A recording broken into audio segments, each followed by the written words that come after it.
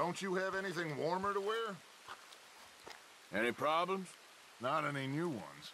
Because you sure know how to make those these days.